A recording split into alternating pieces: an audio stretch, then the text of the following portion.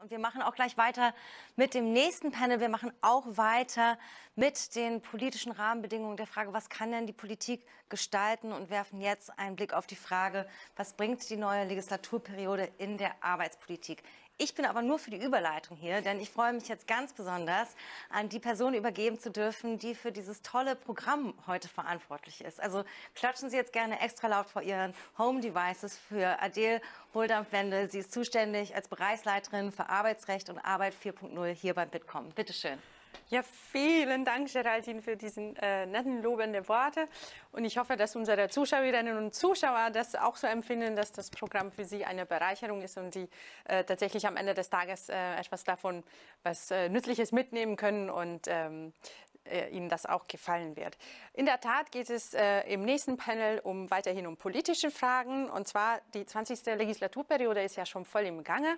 Und auch die Ampelkoalition hat einige arbeitspolitische Vorhaben in den Koalitionsvertrag geschrieben. Was planen die Parteien im Bundestag bis 2025? Diesen, diese Frage möchten wir nachgehen. Und hierüber spreche ich mit versierten Fachpolitikerinnen und Fachpolitikern aus den Bundestagsfraktionen.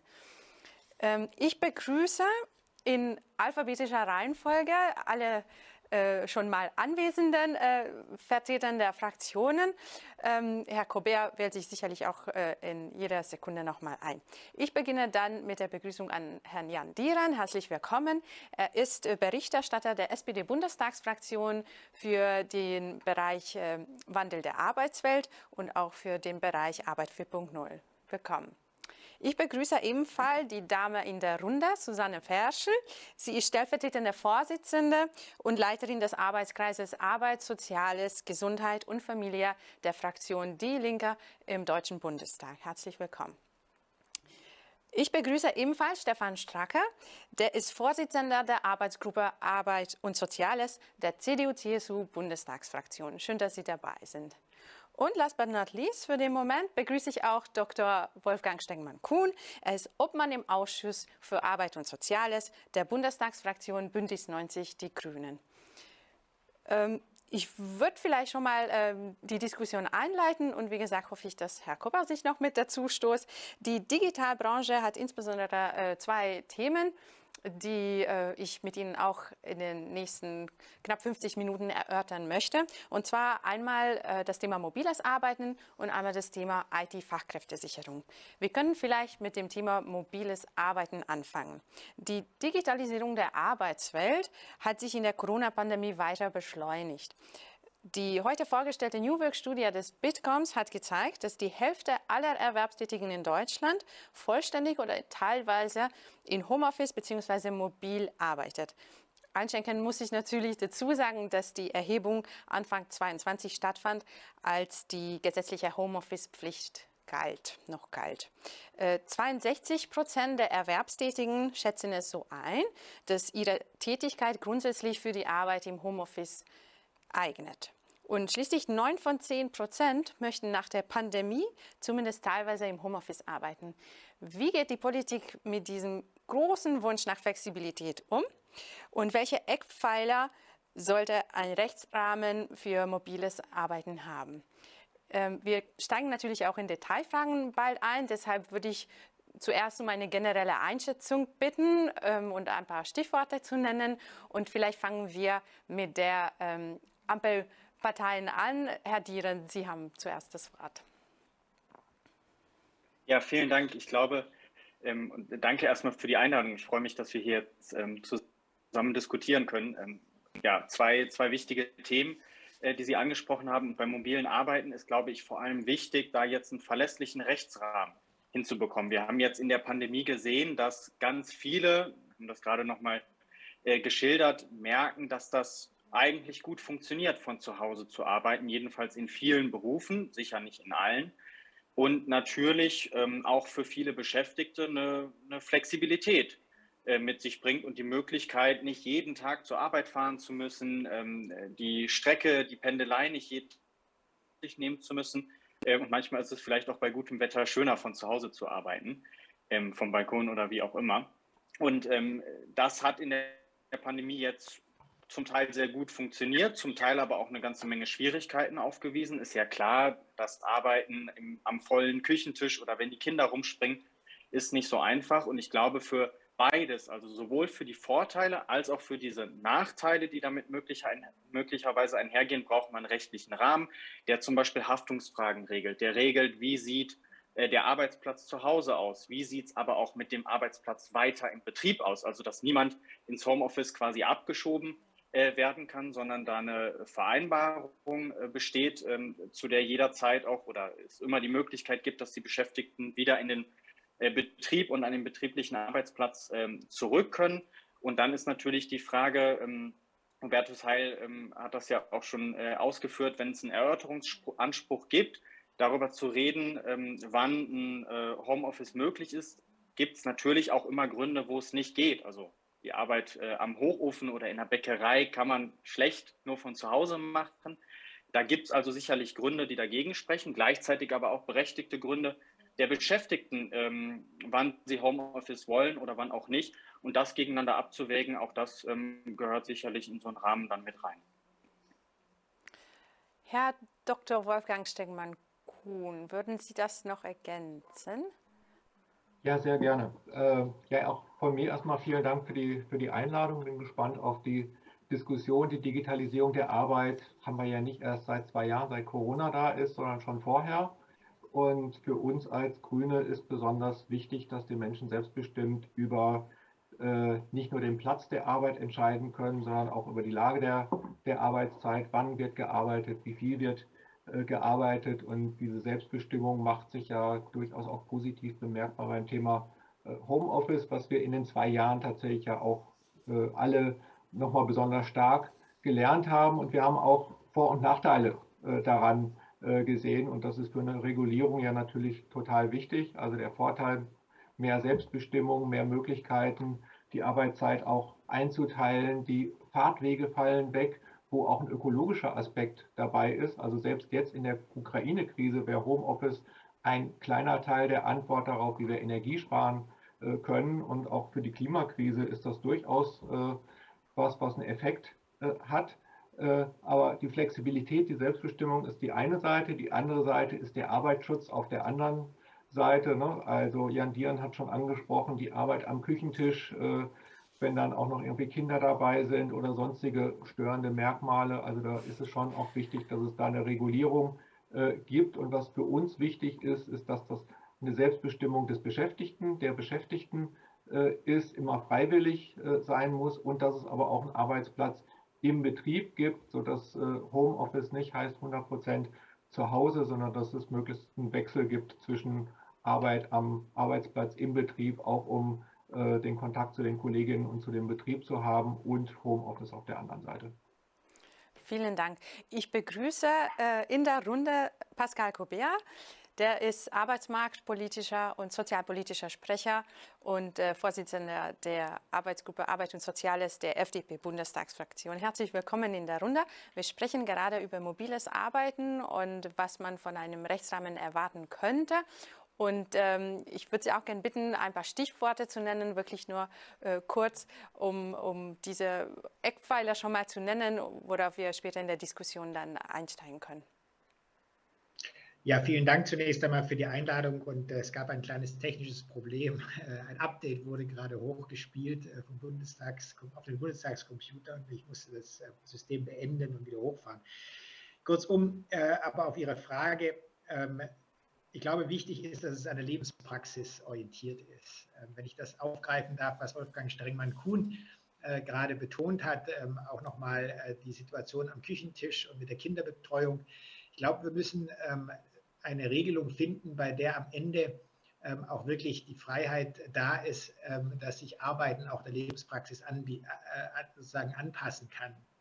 Es muss die Möglichkeit sein, am Küchentisch zu arbeiten, es muss aber auch die Möglichkeit sein, im Garten zu arbeiten. Und deshalb ist klar, dass der Arbeitgeber nicht für die Gestaltung des Arbeitsplatzes im eigenen Homeoffice zuständig sein kann.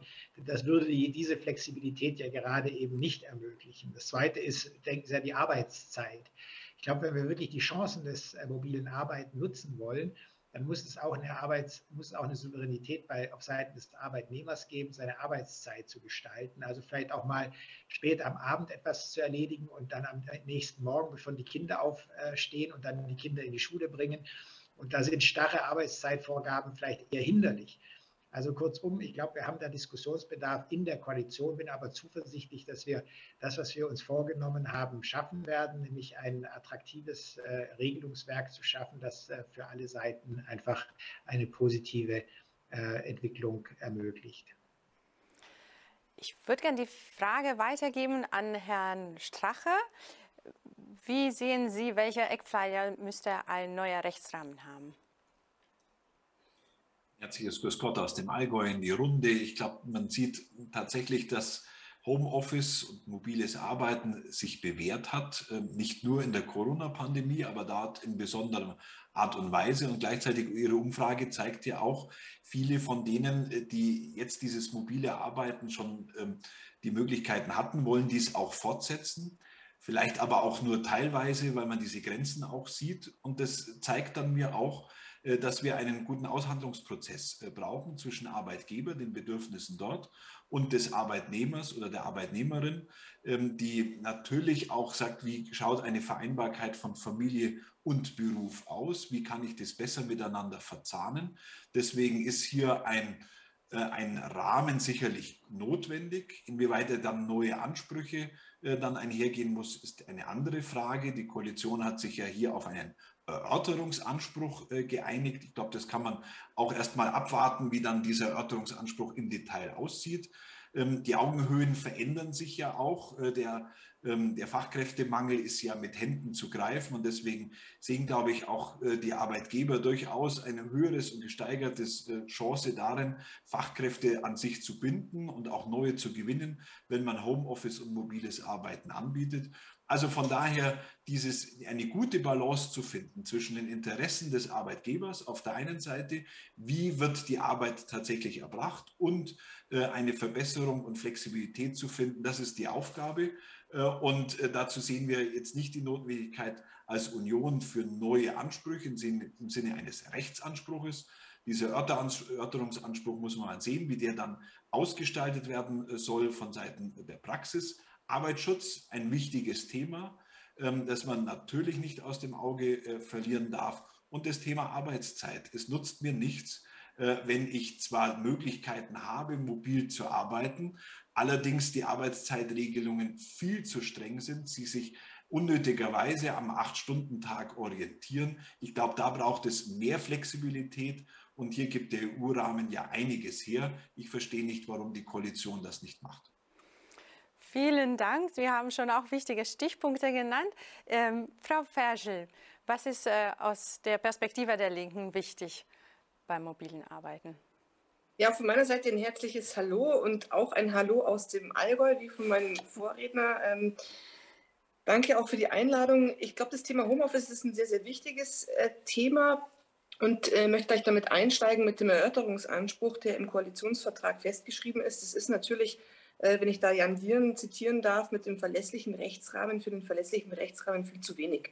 Also ich meine, ein Erörterungsanspruch, ganz ehrlich, ist schon ein bisschen ein Witz, weil selbstverständlich ist es immer so, dass der Arbeitgeber hoffentlich mit seinem Arbeitnehmer äh, spricht ähm, aus unserer Sicht heraus braucht es klar einen Rechtsanspruch auf Homeoffice. Das ist offensichtlich wie so viele Dinge in der Ampel äh, dem, dem, Kompromiss zum Opfer gefallen, weil ich weiß ja noch vor der Bundestagswahl, dass es durchaus die Grünen und die SPD auch ähm, ähm, immer wieder eingefordert hatten, dass es ein Recht auf Homeoffice braucht. Das ist aus unserer Sicht daraus notwendig. Allerdings ähm, auch um das einschränkend zu sagen, aus unserer Sicht daraus nur ergänzend, also freiwillig, logisch, aber auch ergänzend, also nicht ausschließlich, weil wir einfach die Erfahrung äh, immer wieder machen, dass Beschäftigte, die ausschließlich im Homeoffice sind, ähm, gerne auch mal ähm, dann in der betrieblichen Realität, sprich Qualifizierung, ähm, sprich Betriebsversammlung, sprich Informationen und so weiter ausgeschlossen sind.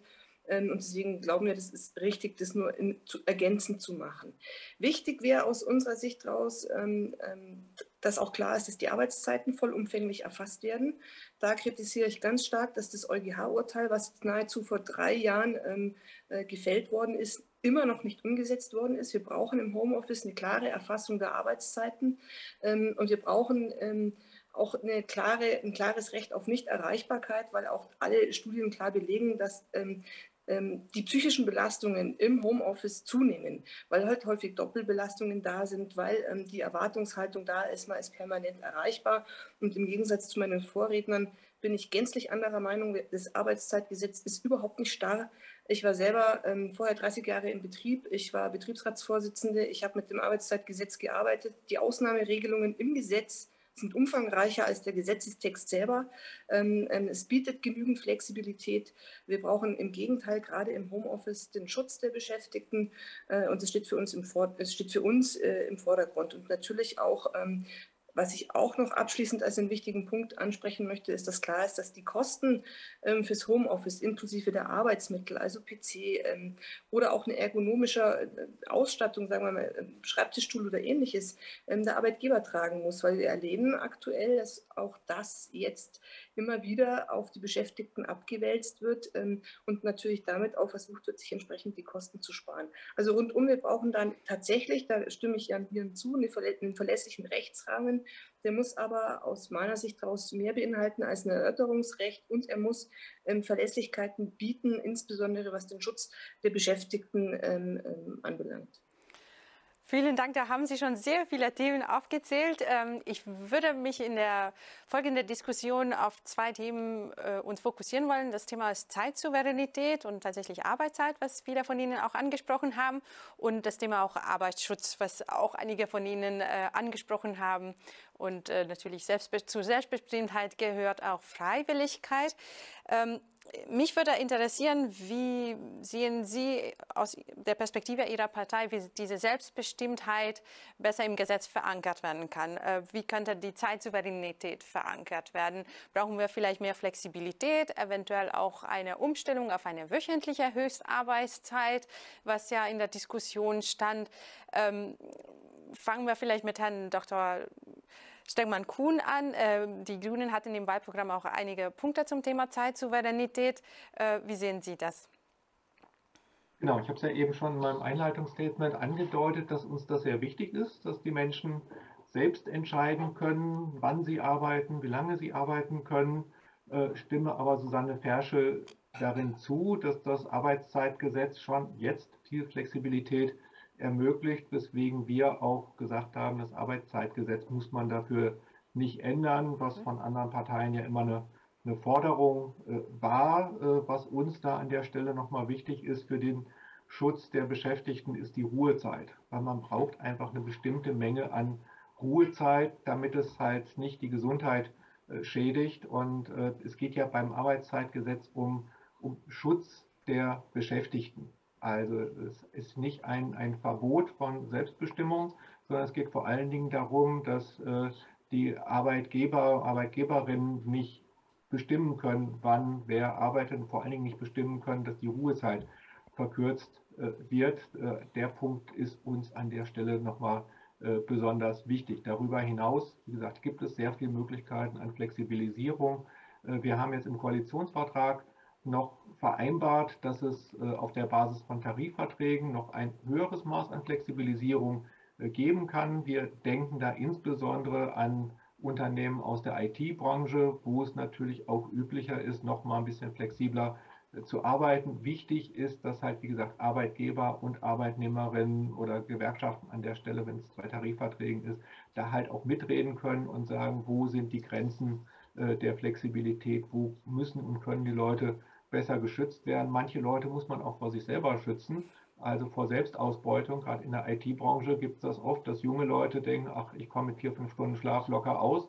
Wenn man das mal zehn Jahre gemacht hat, dann ist man durch. Und äh, da müssen wir auch als Gesellschaft, glaube ich, darauf achten, dass klar ist, dass auch ein gesundes, längeres Arbeiten vor dem Hintergrund des demografischen Wandels auch länger möglich ist. Aber es ist innerhalb des Rahmens ist eine Menge möglich an äh, Arbeitszeitflexibilität. Das hängt oft an den Tarifpartnern. Das heißt, in Tarifvereinbarungen äh, wird manchmal der Rahmen des Arbeitszeitgesetzes auch nicht ausgenutzt. Also unsere Vorstellung wäre, dass, dass der Arbeit, das nicht unbedingt vorgeschrieben ist, 9-to-5-Jobs zu machen, sondern dass man auch mal ein paar Stunden morgens, ein paar Stunden abends oder wie auch immer auch anders über die Woche äh, verteilt. Aber das muss in einer Art und Weise passieren, wo halt auch die Menschen das selbstbestimmt entscheiden können und halt auch entsprechend geschützt werden.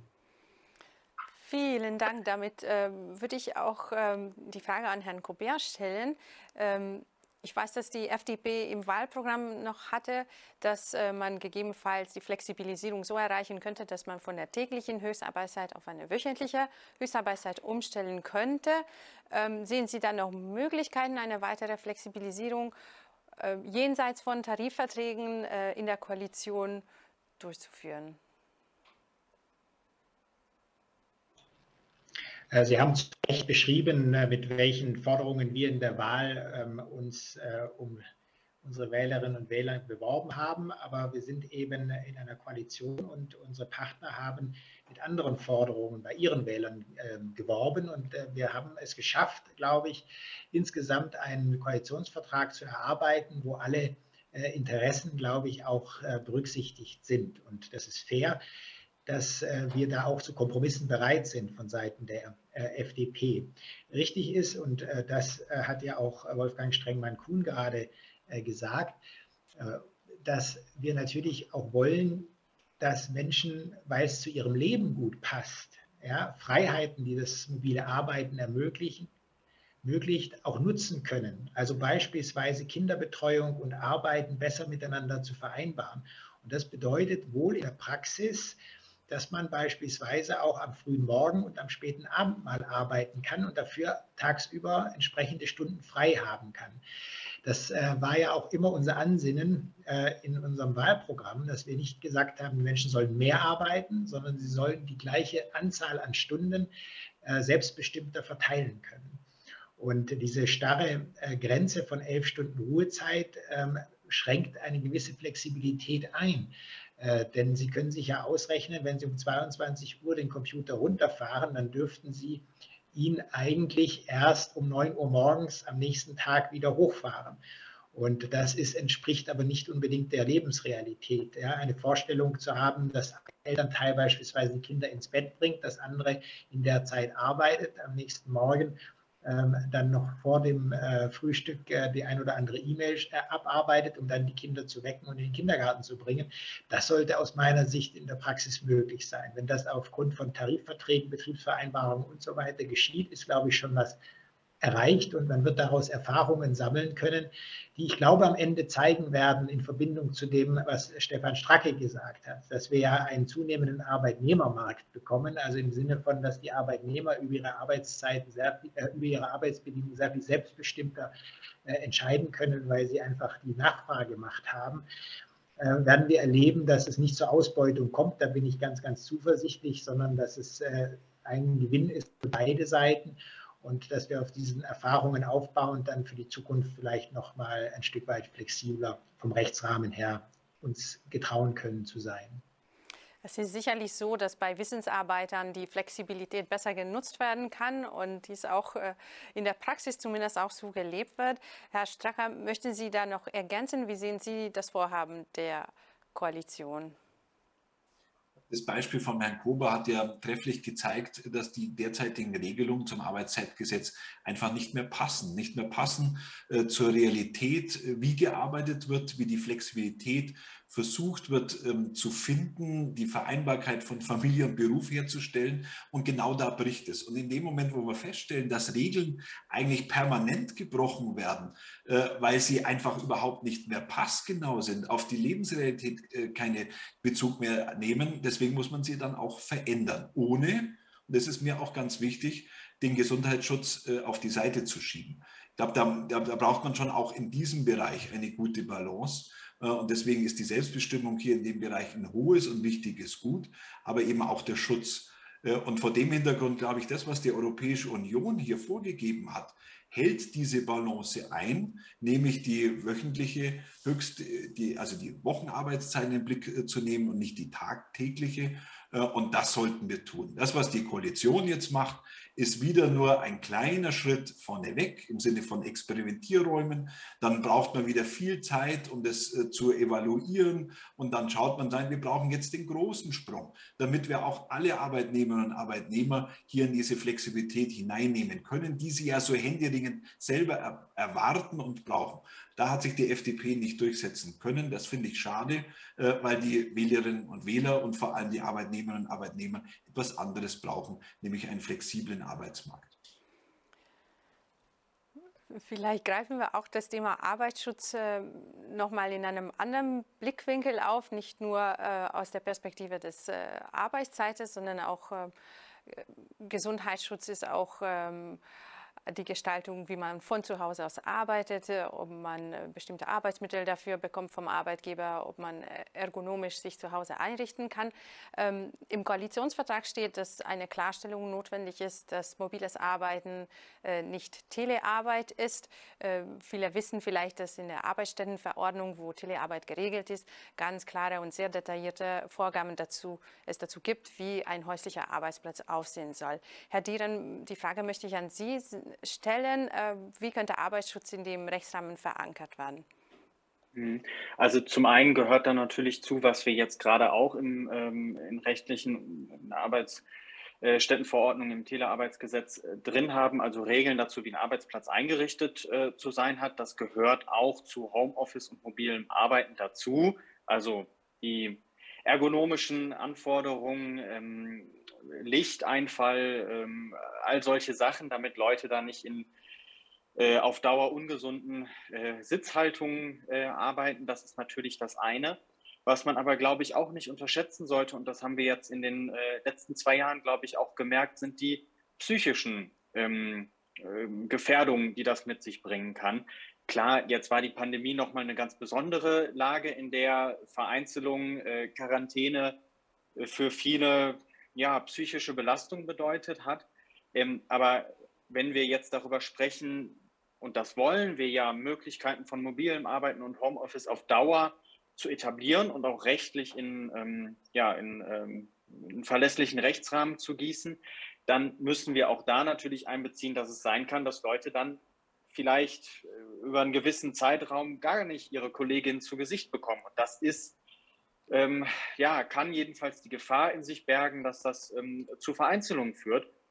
Äh, und da sollten wir, glaube ich, auch sehr genau darauf achten. Also zum Beispiel einzubeziehen, dass die Kolleginnen sich auch äh, regelmäßig physisch treffen, äh, dass es die Möglichkeit immer gibt, dass es zum Beispiel eine Möglichkeit für Gewerkschaften und Betriebsräte auch gibt, die digital zu Hause äh, zu besuchen, ähm, um jedenfalls auch den digitalen Kontakt zu haben und darüber zu sprechen. Und auch ich finde, das sollten wir diskutieren, äh, eine psychische ähm, Gefährdungsbeurteilung, also eben nicht nur ergonomische und ähm, ja, physische Faktoren einbeziehen, sondern auch, was Homeoffice und mobiles Arbeiten an psychischen Belastungen mit sich bringen kann, weil ich glaube nochmal, das haben wir über die letzten zwei Jahre gemerkt, auch das kann äh, zu einer ganz schönen Belastung äh, werden. Und wenn wir das jetzt schon ähm, verlässlich regeln und auf Dauer regeln wollen, dann gehört auch das dazu. Wir können niemanden äh, in die Vereinzelung und Vereinsamung nach Hause schicken, sondern müssen auch das da einbeziehen. Vielen Dank. Ich bitte um noch eine kurze Ergänzung von Frau Ferschel. Äh, was ist ähm, von den Linken, aus der linken Perspektive noch ganz wichtig wäre, was das Thema Arbeitsschutz anbelangt? Ja, ich stimme ähm, Jan Dirm zu, dass es ähm, letztendlich darum geht, eine psychische, aber auch eine physische Gefährdungsbeurteilung für den Arbeitsplatz vorzunehmen und dass natürlich der Arbeitsplatz entsprechend auch ausgestattet werden muss. Aber wenn man zum Thema ähm, Arbeitsschutz spricht, kommt man unweigerlich wieder auf das Thema Arbeitszeit zurück. Und da würde ich auch noch mal gern auf das eingehen, was vorher gesagt worden ist und da so ein Stückchen auch die Arbeitsrealität wieder zurechtrücken, weil es ist ja nicht in jedem Fall, sondern eher unterdurchschnittlich der Fall, dass der Beschäftigte autonom bestimmen kann, wann wie gearbeitet wird, sondern überwiegend gibt ja der Arbeitgeber entsprechend den Rahmen vor und legt fest, wann er erreichbar, äh, wann der Arbeitnehmer erreichbar sein muss oder dass gegebenenfalls bestimmte, also was weiß ich, wenn man äh, mit Indien oder Amerika kommuniziert oder wie auch immer, dass das entsprechend zu einer bestimmten Arbeitszeit stattfinden muss. Also in den seltensten Fällen ist es ja so, dass man sagt, wir sind hier bei Wünsch dir was und ich äh, organisiere mir meine Welt, wie sie ist, sondern es gibt ja Vorgaben. Und deswegen ist es so wichtig, dass es einen entsprechenden Rahmen gibt. Und die Dinge, die genannt worden sind, nämlich dass man zum Beispiel früh arbeitet, dann eine längere Pause macht äh, und abends weiterarbeitet, ist ja alles möglich, auch mit dem bestehenden Arbeitszeitgesetz. Eines ist richtig, die elf Stunden Ruhezeit, die begrenzen tatsächlich ein Stück weit die, die Flexibilität, aber das ist auch gut so. Ähm, alle Studien belegen, dass das äh, das krank macht, dass es vor allem psychisch krank macht, wenn Menschen permanent ihre Ruhezeiten nicht einhalten. Und gerade deswegen ist es wichtig, dass in der digitalen Arbeitswelt diese Regularien auch irgendwo stattfinden. Und da gebe ich ähm, Wolfgang Stringmann-Kuhn auch absolut recht, der vorher gesagt hat, da muss man auch ein Stück weit die Beschäftigten vor sich selber schützen, weil die Erfahrung habe ich tatsächlich in meinem Arbeitsleben auch gemacht. Die jungen Wilden in Anführungsstrichen, ähm, die bei denen spielt das keine Rolle, aber jemand, der mal 50 äh, Jahre alt ist und immer wieder die Arbeitszeiten nicht eingehalten hat oder zu unregelmäßigen Arbeitszeiten gearbeitet hat, der spürt es. Und wir müssen schon gucken, dass die Beschäftigten äh, ihr ganzes Arbeitsleben lang entsprechend auch äh, gesund bleiben. Vielen Dank für die äh, ausführlichen Erläuterungen. Ähm, ich kann mir auch vorstellen, dass für viele Beschäftigte die Flexibilität auch eine gewisse Arbeitszufriedenheit gibt und äh, die kann ja natürlich auch auf die Gesundheit positiv auswirken, wenn sie Privates und Berufliches besser im Einklang bringen können und nicht in die, äh, unbedingt in die acht Stunden reingepresst werden. Ähm, aber das ist sicherlich ähm, lebenslagenabhängig und äh, sicherlich auch altersabhängig und hängt von vielen Faktoren ab. Ähm, ich habe noch eine letzt, einen letzten Punkt zu diesem Thema, was ich aus dem, äh, aus dem Publikum bekommen habe als eine Frage. Äh, es ist an Frau Ferschel. Ähm, adressiert. Und zwar, ähm, der sagt, der Arbeitgeber muss nur dann die Kosten tragen, wenn die Erbringung der Arbeit im Homeoffice primär in seinem Interesse liegt. Er also beispielsweise nicht genug Büroarbeitsplätze bietet. Da kommt jetzt diese Kostenfrage wieder auf. Ähm, sehen Sie da bestimmter Anpassungsbedarf? Ähm, auch in der Runde bitte um kurze Antwort, weil wir noch ein zweites Thema haben, die wir erörtern müssen, äh, wer die Kosten zu tragen hat, äh, je nach Interessenlage, ob Arbeitnehmer oder Arbeitgeber, wie Sie das verteilen sollen.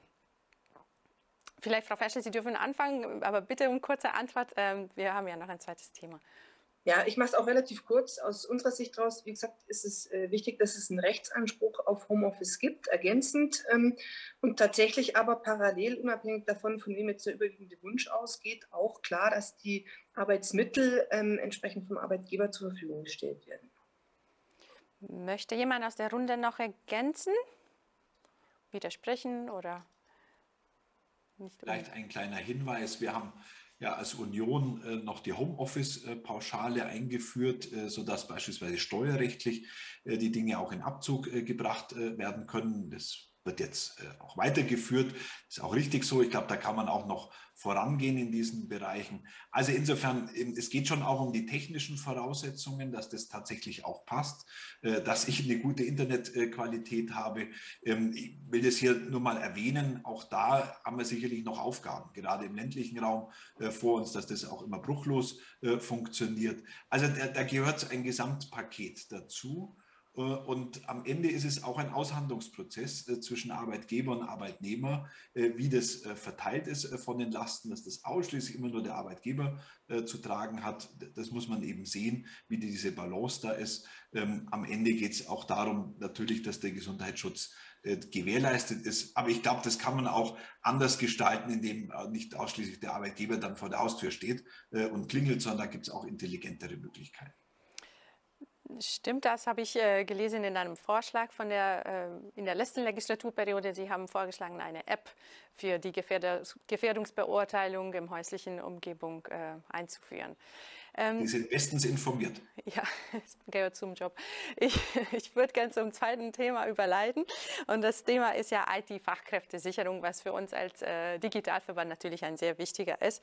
Äh, laut, der, laut, der, aktuellen Bitkom-Studie äh, waren Ende 2021 96.000 IT-Stellen unbesetzt in, also in der gesamten Wirtschaft in Deutschland. Und zwei Drittel der befragten Unternehmen haben befürchtet, dass der IT-Fachkräftemangel sich noch weiter verschärfen wird. Ähm, da stelle ich gerne die Frage in die Runde. Äh, vielleicht könnte Herr äh, Colbert anfangen. Äh, wie könnte Deutschland für ausländische IT-Fachkräfte attraktiver werden? Brauchen wir ein Tech-Visum, wie das in Frankreich oder im Vereinigten Königreich ähm, eingeführt worden ist? Oder gibt es vielleicht auch andere Wege, wie man die äh, Fachkräfte nach Deutschland ähm, einladen könnte? Also zunächst einmal braucht man ein unkompliziertes und in sich stimmiges Einwanderungs- und Zuwanderungsrecht. Da haben wir uns ja darauf verständigt und wir als FDP auch immer gefordert, dass wir ein Punktesystem einführen sollten.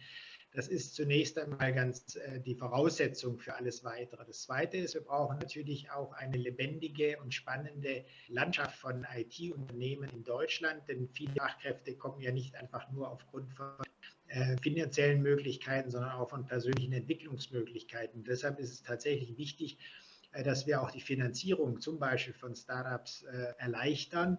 Und dazu muss mehr Geld zur Verfügung stehen. Deshalb sagen wir auch, dass beispielsweise die Aktienkultur in Deutschland, und jetzt rede ich als Sozialpolitiker, äh, ganz bewusst ähm, eine neue Bedeutung bekommt. Und das fordern wir beispielsweise auch durch eine Aktienrente innerhalb der ersten Säule der Renten, der, der, Rentenpolitik, also der, innerhalb der gesetzlichen Rentenversicherung.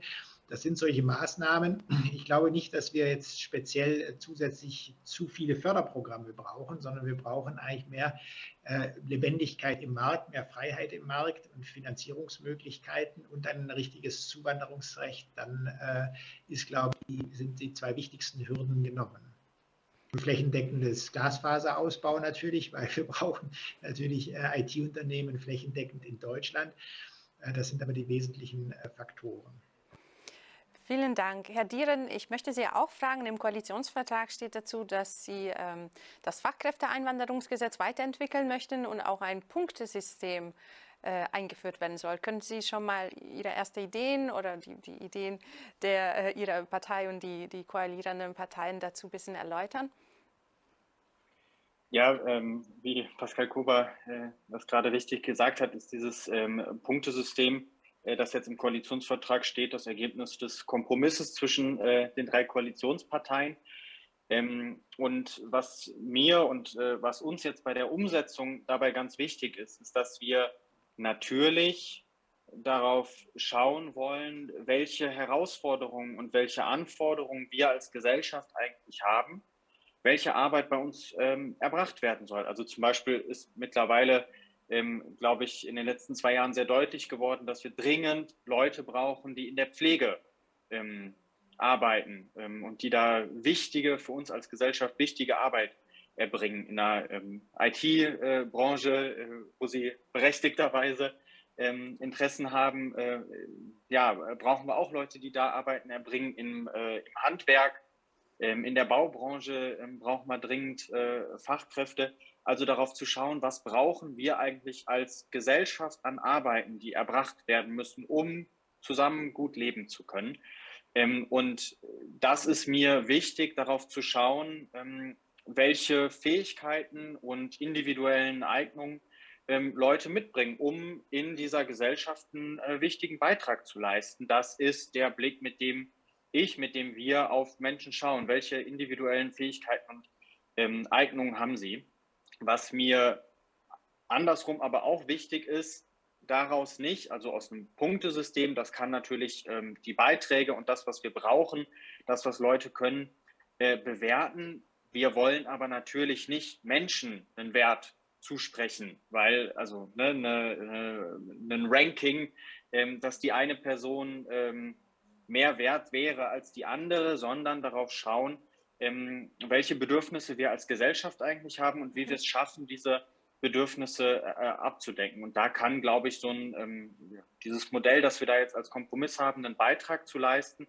Aber es ist eben wichtig, glaube ich, daraus nicht eine, ähm, ja, nicht ähm, eine, eine ähm, Menschen ähm, danach zu kategorisieren, ähm, sondern da sehr offen dran zu gehen und zu schauen, welche Bedarfe wir als Gesellschaft haben ja, aber da glaube ich, sind wir auch auf einem äh, ganz guten Weg in der Diskussion.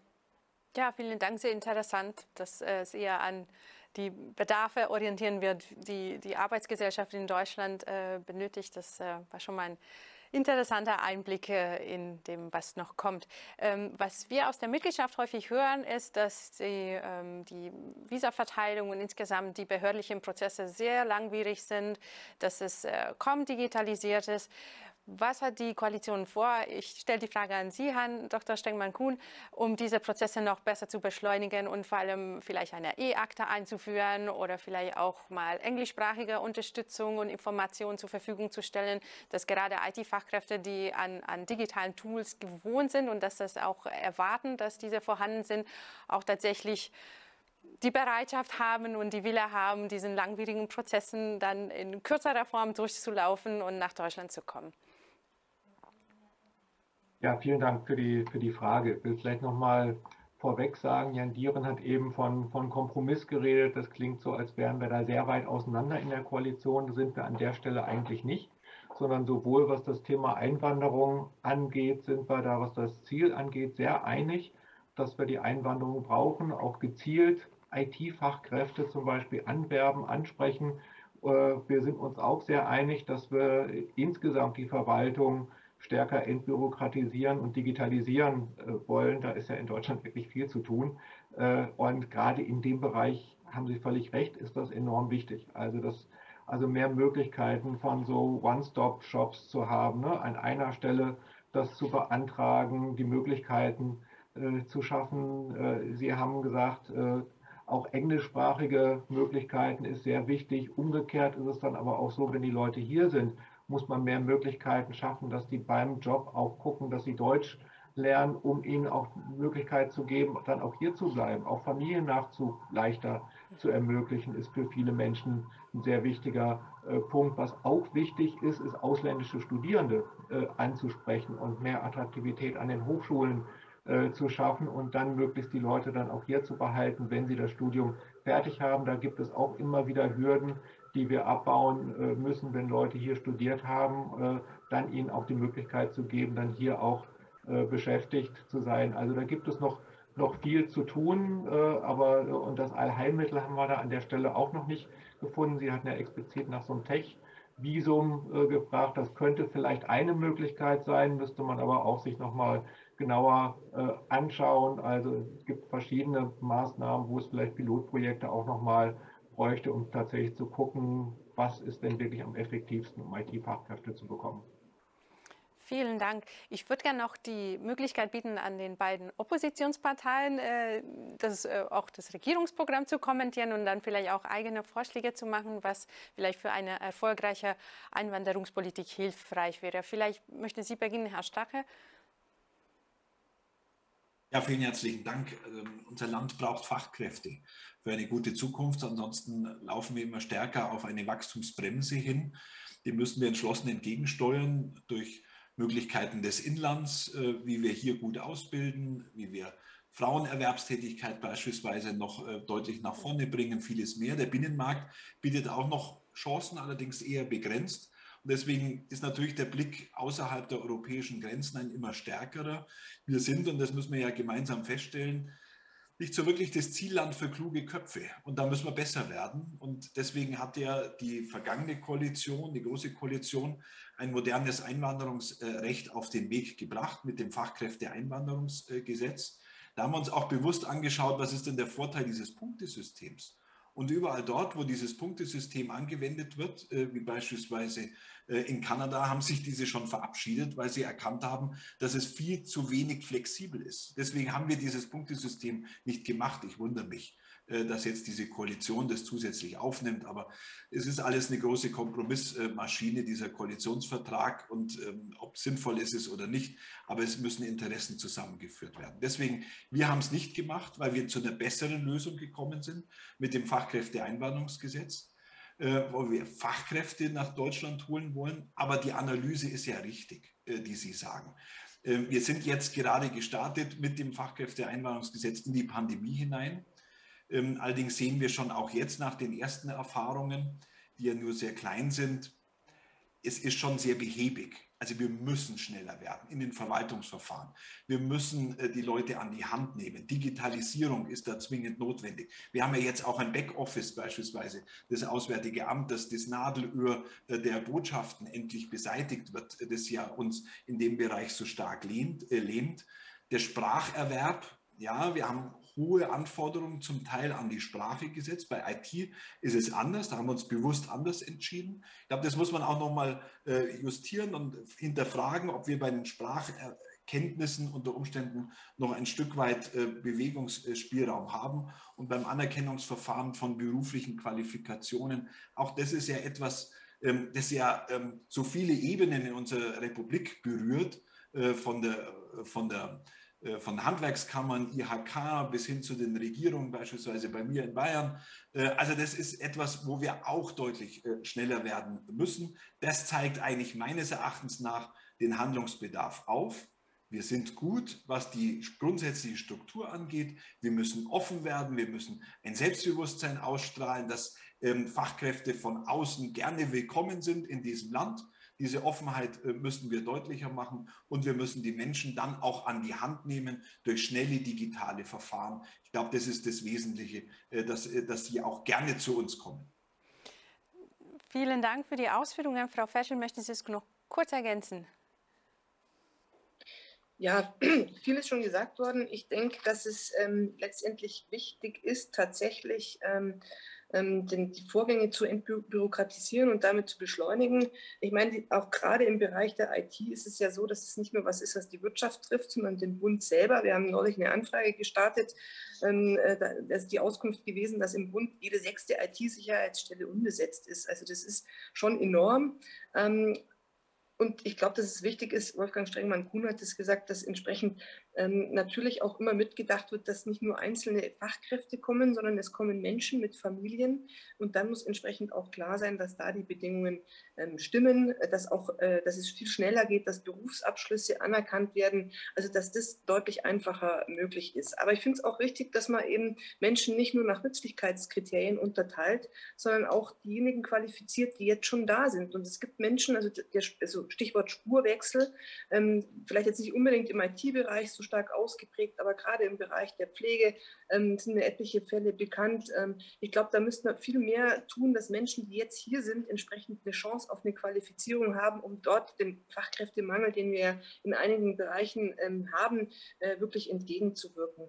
Und eins, glaube ich, ist auch ganz wichtig, wir müssen die Qualifizierung insgesamt verstärken, weil wir haben ähm, nach wie vor ähm, auch Potenzial im Inland, was noch nicht gehoben ist. Das ersetzt nicht äh, Fachkräfteeinwanderung komplett, das ist völlig logisch, aber wir müssen auch schauen, es ist eigentlich ein Unding, dass wir so viele Jugendliche haben, die ohne Berufsaus, äh, Berufsabschluss ähm, dastehen, dass wir tatsächlich Frauen haben, die ähm, nicht äh, in den Arbeitsmarkt integriert sind und ich glaube, das sind wichtige Dinge, die parallel dazu ähm, zu dieser Entbürokratisierung im im, Einwanderungsbereich angegangen werden müssen.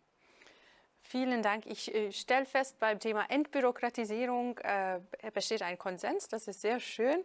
Äh, für eine Abschiedsrunde äh, möchte ich Ihnen allen die Möglichkeit bieten, ein Thema zu nennen, das aus dem Bereich Arbeitsmarktpolitik, Sie sind dabei völlig frei, welches Thema das ist, als nächstes angehen möchten und die Sie mit äh, am, am, am größten Leidenschaft in dieser Legislatur vorantreiben möchten.